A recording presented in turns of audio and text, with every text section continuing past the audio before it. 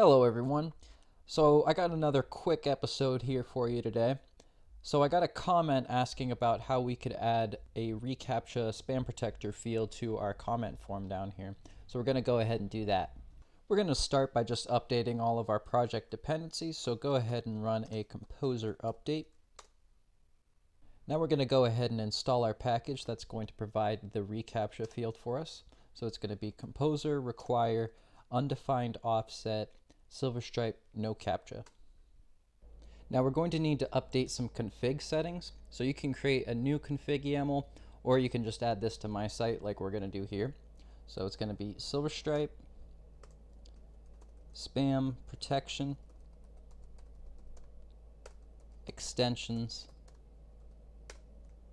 form spam protection extension.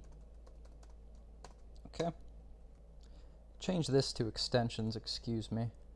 Now, our setting is going to be default spam protector. Now we're going to set that to the spam protector that we just installed. So that's going to be undefined offset, no captcha,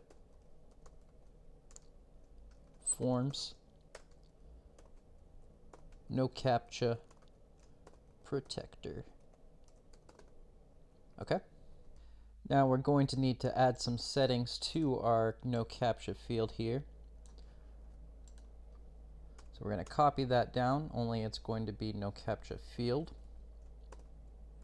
And we're going to have two settings here. So it's going to be site key and secret key.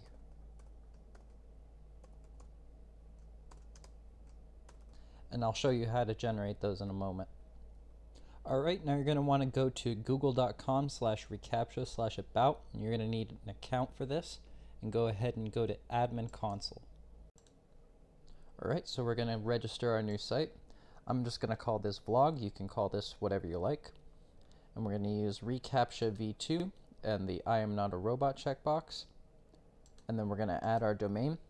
Now you're going to add both your local and your production and your dev site too if you have one of those. So this is going to just be the domain without any protocols, so no HTTPS, uh, just whatever.com. So ours is going to be vlog.localhost. Okay, I'm going to cover mine, but once you submit that form, you should see your site key and your secret key.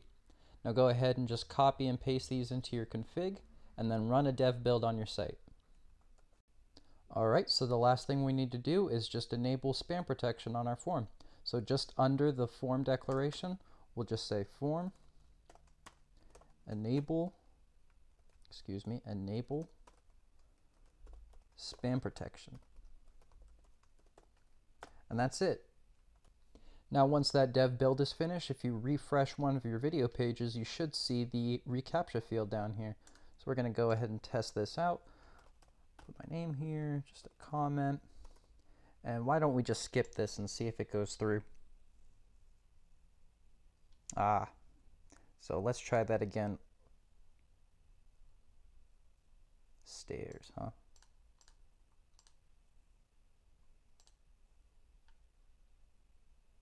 All right, that seems to work. All right, if you guys want to see any more videos like this, let me know what topics I should cover in the comments below. All right, catch you then.